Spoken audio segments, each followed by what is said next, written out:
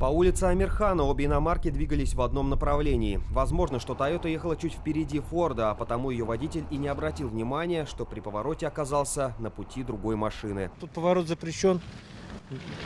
Эта машина стала поворачивать налево резко.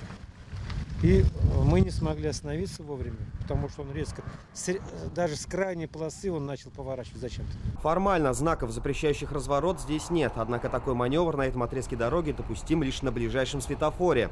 Кроме того, по словам водителя Форда, Toyota двигалась в правом ряду. Мужчина признается, что просто не ожидал таких действий от водителя другой машины, а потому и не успел уйти от столкновения. Ему надо было посмотреть в зеркало, э, во-первых, он не, повор... не, не включил повороты. Немножко надо убедиться, если включил поворот, убедиться. А помехи, э, если ты даже среднего ряда поворачиваешь.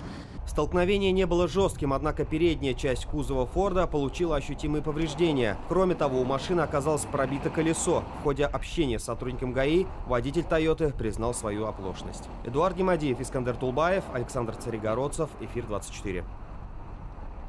Рэй Донован. С понедельника по четверг. Премьера на телеканале «Эфир».